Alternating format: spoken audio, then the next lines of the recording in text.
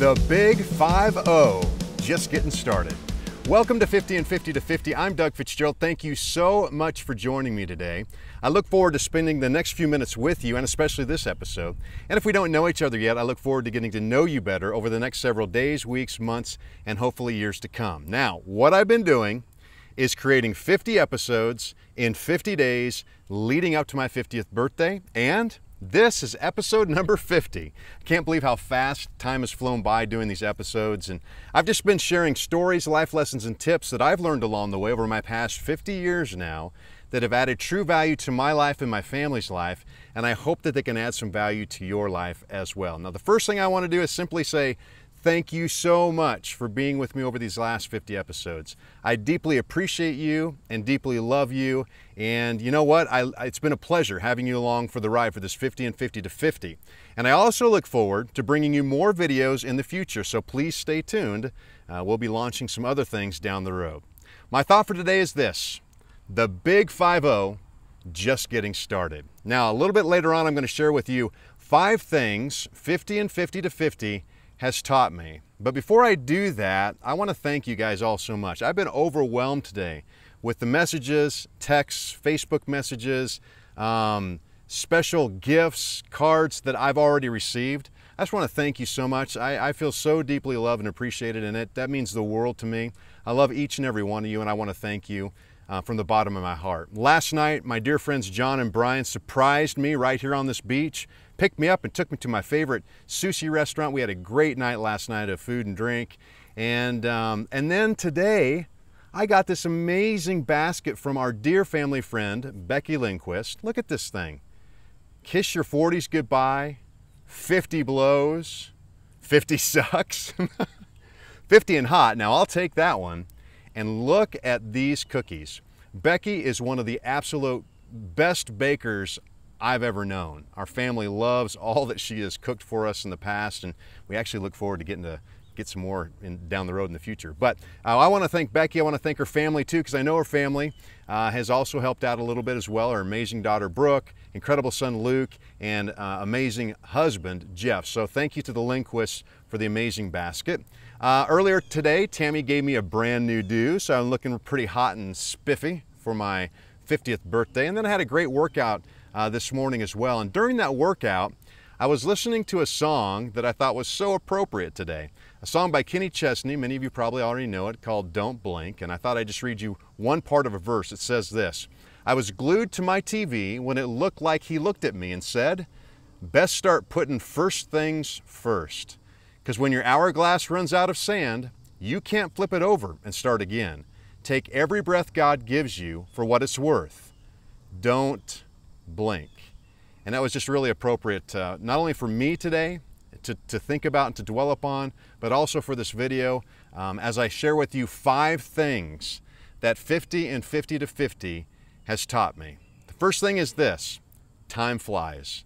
I cannot believe how fast time flies by. And if you're around my age, you completely understand what I'm talking about. It seems like yesterday I was playing in the dirt on my family farm and and I was helping dad out with chores and then graduating from high school and going to college and getting married to Tammy and, and, and Dylan being born and Cindy being born and, and now I'm 50, you know, and they're starting their own lives. So time flies. And I think the challenge to all of us is to simply cherish every moment. The second thing I've learned from doing 50 and 50 to 50, I'm super blessed.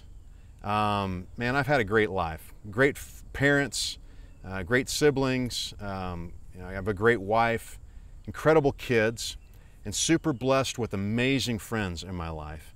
I love and, and appreciate each and every one of you. And I'm just super blessed. I think the challenge for all of us in this is just to, to, to, to look into our lives and, and realize how blessed we really are. The third thing that 50 and 50 to 50 has taught me is this I've had an amazing life so far, and I wouldn't change a thing. Uh, it's given me a chance to look back over my life and to write out all the key moments in my life, which I highly recommend that you do. Because I've learned from the highs and lows, I've learned from the victories and defeats, and they've been amazing. And where God has led me in this process and, and the people He's crossed my path with uh, has just been an incredible uh, journey. And I just wouldn't change a thing. So I, I, I, I think the challenge for all of us is to, to realize uh, how amazing our lives really are. All right, the fourth thing that 50 and 50 to 50 has uh, taught me is I've gained a deeper appreciation for all that I've accomplished. A few weeks ago, we were in Columbus, Ohio, Tammy and I were, and I was at a, a mastermind group meeting that, that I'm a part of. And the biggest thing that hit me there is to look back and appreciate all the things that I've achieved. I don't know about you, but you know, I'm, a, I'm an achiever, I'm a goal setter, I want to keep getting after it. And a lot of times I feel like my life doesn't matter or, you know, I'm not making a difference in the world. A lot of times I'll go home to Tammy and say, man, um, what am I doing with my life? I don't know if you've ever felt those type of feelings. Maybe like you're feeling like you're treading water. And what I was challenged to do at that mastermind group was to stop, Doug. Stop and turn around and look at all the things that you've accomplished in your life and appreciate those things and realize that you have made a difference. So I think the challenge for all of us, and especially if you're wired like I am, is stop, turn around and look back at the things you've accomplished and appreciate those things. And the final and fifth thing that I want to share with you today that 50 and 50 to 50 has taught me is this. I have a deeper desire to take advantage of every single day that God gives me from here on out. You know, we're not guaranteed tomorrow. I'm not guaranteed tomorrow. You're not guaranteed tomorrow.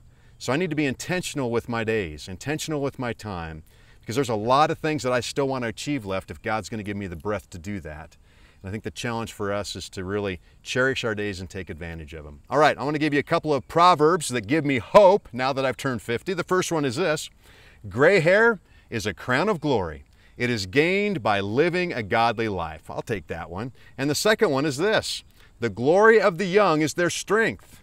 The gray hair of experience is the splendor of the old. So I will cherish every one of these gray hairs. All right, my challenge for all of us today is simple. Take some time to look back over your life and take note of all the key moments. Seriously, if you haven't done this before, do it. Get a notepad and from the very earliest moments in your life that you can remember all the way up to today, take note of those key moments, the good days, the bad days, the victories, the, the defeats, and everything in between. Cherish them and learn from them. And then think about all of the important and vital things that you want to achieve in the future and take steps now toward fulfilling them today. One way you can do that is get my book, One Shot, One Life, the ultimate success formula to help you win at anything in life. But what I'd really consider you to do and encourage you to do um, is join one of our mastermind groups that we're going to be starting for 2020. All you have to do is private message me or keep on the lookout on my social media pages as we launch our next groups for 2020. We would love to have you there. And I'd love to hear what you think about this uh, subject. Put it in the chat area below. Uh, give us some thumbs up, some hearts, follow us on face, uh, Instagram, like us on Facebook, and share this with those that you care about. I'm Doug Fitzgerald. Remember, you only have one shot at your amazing one life, so go out there and make every single day count. I'll definitely see you next time. I will not waste my life watching the world.